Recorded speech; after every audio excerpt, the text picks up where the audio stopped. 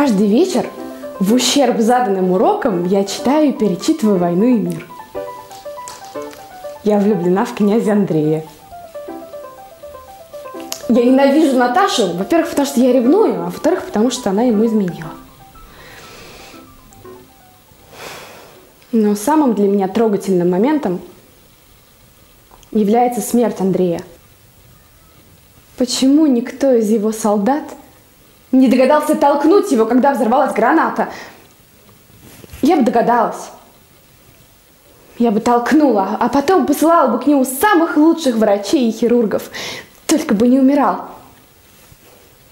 Лучше бы Толстой на Наташе его женил. Я и на это готова пойти.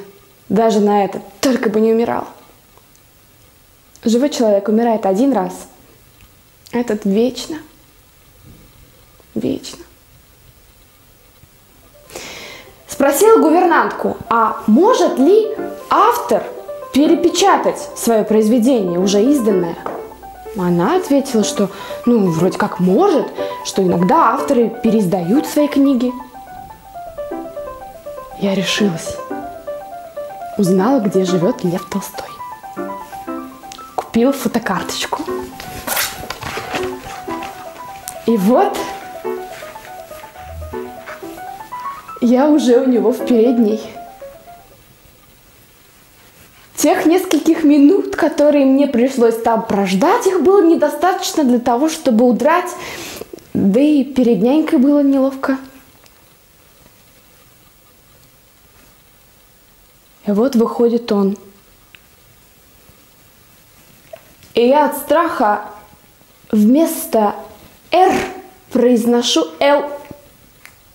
Просили фотокалточку подписать.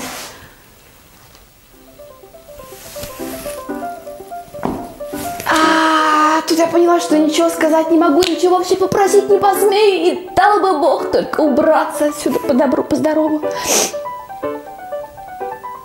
Потом он вернулся с фотокарточкой. Лицо, спасибо.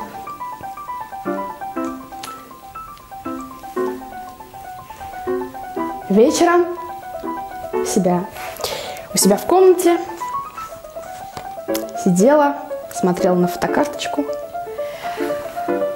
вспоминала свои плохие фотографии и плакала в подушку.